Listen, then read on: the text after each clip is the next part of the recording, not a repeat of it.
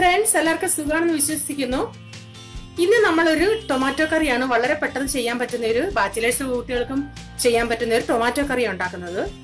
Tomato കറിയുടെ ingredients പറയുന്നതിന് മുമ്പിട്ട് ഷൈനി സഹദേവൻ ഒരു സ്പെഷ്യൽ ഹായ് പറയണമെന്ന് പറഞ്ഞു ഷൈനി സഹദേവൻ മോളെ എന്റെ എന്റെ കുടുംബത്തിന്റെ മക ഒരു സ്പെഷ്യൽ ഹായ് ഈ ടൊമാറ്റോ കറി ഉണ്ടാക്കാനായിട്ട് ഞാൻ ഇതുപോലുള്ള നാല് ടൊമാറ്റോ എടുത്തിട്ടുണ്ട്. അത് നീളത്തിലാണ് അരിഞ്ഞേക്കുന്നത് സവാള ഇതേ ഇതുപോലുള്ളത്.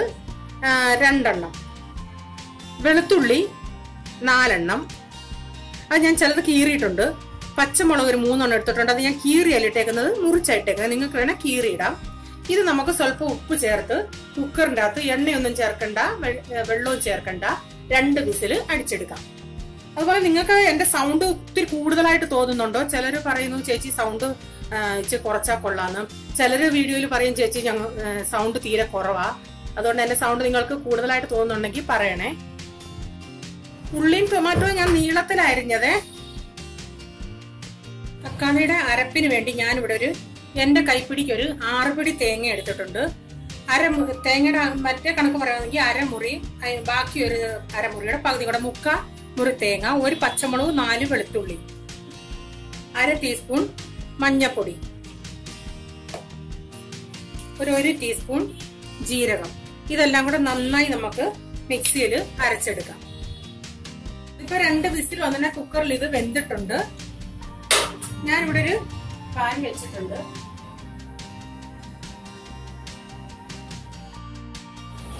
അതിലോട്ട് സ്വല്പം എണ്ണ.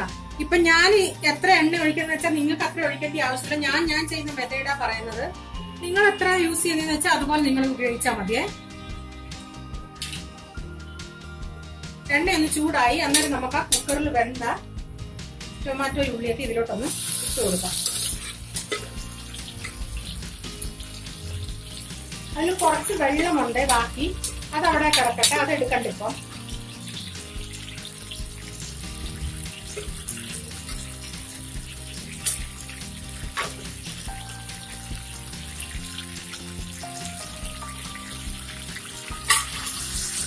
ജസ്റ്റ് രണ്ട് മൂന്ന് മിനിറ്റ് ഒന്ന് വഴട്ടാം.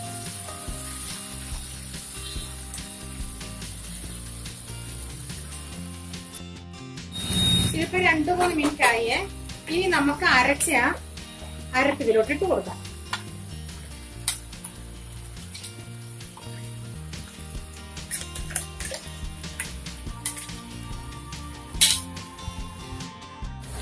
അരപ്പ് കൂടെ ഒന്ന് മിക്സ് ചെയ്യാം.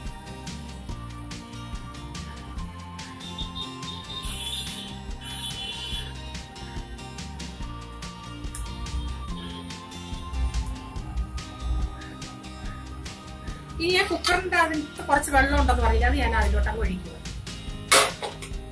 പിന്നെ കറിക്ക് ആവശ്യമുള്ള വെള്ളം കൂടെ നമുക്ക് ഒഴിക്കാം.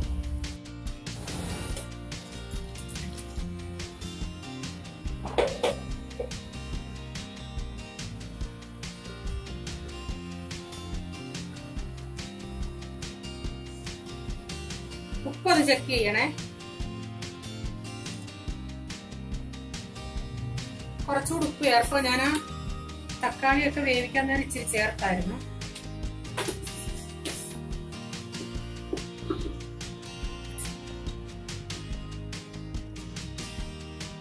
ഇതൊന്ന് തിളക്കട്ടെ. ഇതിപ്പോ തിളച്ചിട്ട് ഒന്ന് രണ്ട് മിനിറ്റ് ആയി ഇനി നമുക്ക് കടുക് താളിക്കാം. കടുക് താളിക്കാനായിട്ട് ഞാൻ ഒരു ടേബിൾ സ്പൂൺ ഓയിൽ ഒഴിക്കുന്നു. ഈ പാത്രം പലരും എന്നോട് പറയും ചേച്ചി എണ്ണ ഒത്തിരി കൂടുതലല്ലേന്ന് ഈ പാത്രം ചെറുതായ പാൻ ചെറുതായതുകൊണ്ട് അതിന്റെ അകത്ത് ഒത്തിരി എണ്ണയായിട്ട് തോന്നിക്കുന്നയാ. എത്ര ആണെങ്കിലും നിങ്ങളുടെ ഇഷ്ടത്തിന് നിങ്ങൾ ഒഴിച്ചോളൂ കേട്ടോ. ഇനി അതുകൊണ്ട് ഞാൻ അങ്ങനെ ടേബിൾ സ്പൂണിൽ ഒഴിച്ചത്. അര ടീസ്പൂൺ കടുക്.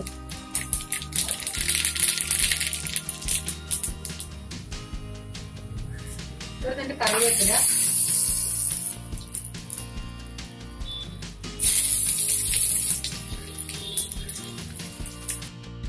രണ്ട് മൂന്ന് വറ്റൽമുളക്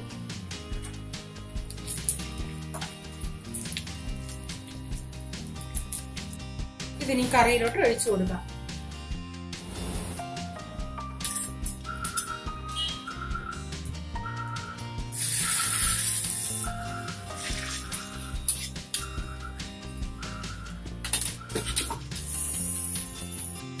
നമ്മുടെ ടൊമാറ്റോ കറി റെഡിയാണ് നിങ്ങളൊന്ന് ട്രൈ ചെയ്ത് നോക്കുക.